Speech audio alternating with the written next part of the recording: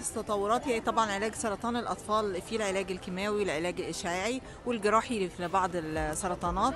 في العلاج المستهدف دلوقتي ده بيبقى علاج مستهدف للورم نفسه بيبقى إيه، يعني حاجات زي ال receptor genes كده بنديها تستهدف الورم. أول تحدي طبعا للأسر الأهالي البعد عن العمل. وبعد عن الاجتماعيات بتاعتهم يعني الأفراح وال والأعياد. يعني دايما إحنا بنعمل عشان الأطفال بيبقى العلاج الكيماوي بيأثر على مناعة الطفل. فبنقول لهم يعني الاختلاطات بلاش إن إحنا نوديهم الاختلاطات علشان المناعة قليلة فممكن يصابوا ببكتيريا وفيروسات.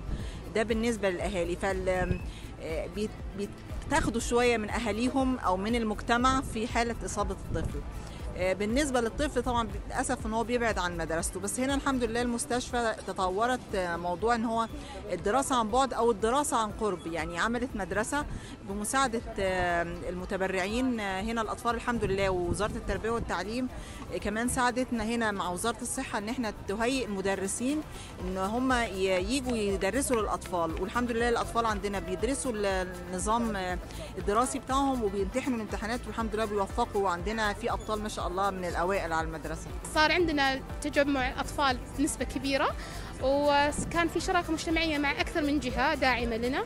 وزي ما تشوفون صار أركان وبعدين آه، يكون عندنا نهاية أنشطة تفاعلية نعطي المريض حس ال- الفكاهة وبنفس الشيء ينسى الألم. لأن إحنا كل ما نقول أورام أطفال يروح بالهم مع الألم والتعب يعني اللي يشوفونه بقسمنا فنربط لهم ذكرى حلوة كمان أن المستشفى مو بس للعلاج كمان للعلاج النفسي. أول تحدي أن آه، في آه، بعض المعلومات شائعة مع يعني في المجتمع عن هذا المرض شوية تخوف الأهل آه، ومع الوقت هم شوي شوي يعرفون إيش الأشياء اللي لازم يسوونها إيش الأشياء اللي ما لازم يسوونها وإيش الحقائق وإيش الأشياء اللي المفروض أنهم يبعدون عنها. بالإضافة إلى أحيانا يعني يجونا أطفال من آه، مناطق بعيدة عن مناطقنا آه، فصعب يصير يعني ما في ترابط أسري. مثلا واحدة تترك عندها أطفال ثانيين فتجي تجلس مع طفلها هنا. آه، إحنا يعني قد ما نقدر نحاول إن نقلل من هذا الشيء آه، بس بعد لازم يكون في تعاون مع من العائلة معنا.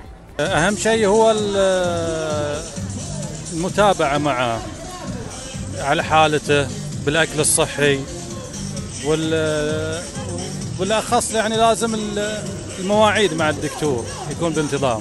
أول ما جينا حق ناخذ الجرعة الأخيرة.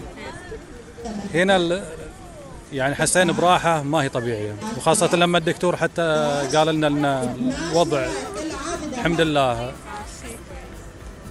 يعني تغلب على المرض هذا الفرحة ما توصف. ناخذه بالرفق والحنية والتعامل اللطيف والأخذ بالحضن والمحبة. مراعاة مراعاة خاصة مراعاة خاصة في في التربية وفي العناية وفي الأكل وفي في أي شيء كان وعدم أي مضايقة له بأي شيء كان.